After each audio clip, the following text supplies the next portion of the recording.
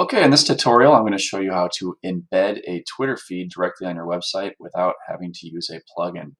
Um, you're going to go to this site, it's publish.twitter.com, enter in your Twitter URL, and this can be either the URL to your page, it can be your handle like at, or it can even be a specific tweet.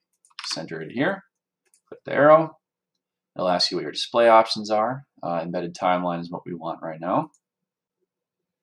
And I mean, that's it you can copy this code and place that right into the code on your website and it will display the feed just like this. Um, it works really well. Um, it adapts to kind of the container that it's in. Uh, I really like it. You can also set some customization options if you want here. Um, height might be useful. Width is really not needed because it will fit again to the size of the container that it's in. And you have just color and then basic language. Um, and that's really it. And you know, if you change these, you would just um, click update and copy code. Add that to your site, it'll work. Um, one note is that in the if you're using WordPress, make sure you're using the text editor and not the visual editor so that the code displays properly.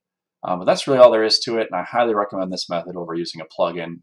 Um, I don't know why, but every social media plugin seems to break all the time and it's been that way for years. So I would not recommend using them. And this works great.